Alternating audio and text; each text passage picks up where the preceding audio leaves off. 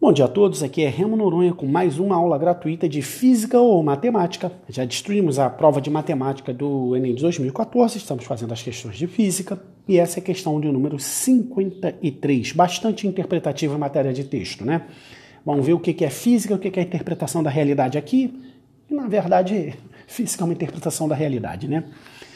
Para entender os movimentos de corpos, Galileu discutiu uh, o movimento de uma esfera de metal em dois planos inclinados sem atrito. Opa, deixa eu pegar a caneta azul aqui para ficar mais visível para vocês. Espera aí, sem atritos e com a possibilidade de se alterarem os ângulos de inclinação conforme mostra a figura. Então, aqui se tem um ângulo, aqui se tem outro, um ângulo, um ângulo para descida, um ângulo para subida, beleza? Conforme mostra a figura. Descrição do experimento, quando a esfera de metal é abandonada, né? Quando eu vi Vou ver essa palavra. Essa palavra é engraçada, tadinha da esfera, né? Foi abandonada. Para descer um plano inclinado em determinado nível.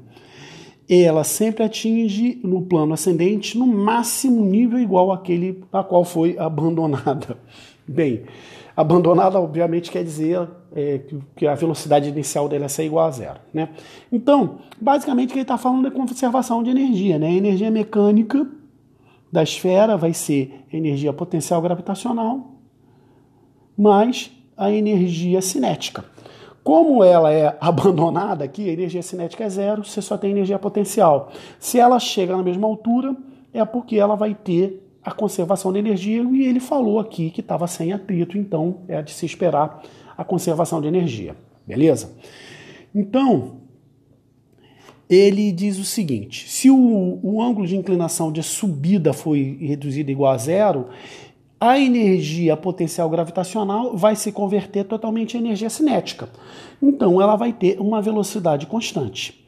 Então, ó, o que, que vai acontecer com a velocidade? Se manterá constante. Então, diminuirá, diminuirá, aumentará. Então, C, D e E são absurdas. Agora, vamos ver aqui a interpretação, desculpa aí, tocou o telefone aqui do lado, né? A interpretação de A e B vê o que, que cabe e o que, que não cabe. Manterá sua velocidade constante, pois o impulso resultante sobre ela será nulo. Ou seja, a energia cinética é constante, então massa, velocidade ao quadrado dividido por 2 é constante, porque não vai ter nenhuma aceleração. Se não tem aceleração, o que é impulso? Impulso é a força multiplicado pelo tempo. Como força é massa vezes aceleração, aceleração é igual a zero, a letra A já pode ser marcada aí logo de cara. Mas vamos, vamos interpretar a letra B.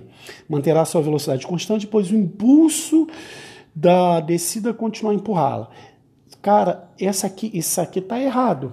Porque a gente tem que entender que o impulso só acontece enquanto houver o esforço. Então a força gravitacional, no sentido do movimento dele, aumentando a velocidade, só acontece na descida. É, uma coisa que eu gosto de dizer é o seguinte: se o cara tá lá jogando sinuca, aí deu atacada, e depois que a, a atacada aconteceu, tem gente que fica inclinando o corpo, como se fosse influenciar o movimento da bola. Não adianta. Depois do momento do contato, que é quando está acontecendo o impulso, não adianta o que você fizer, não, não vai mudar nada. Tá legal? Então ficamos com uma letra A de anarquia, que fala tudo bonitinho e não se fala mais nisso.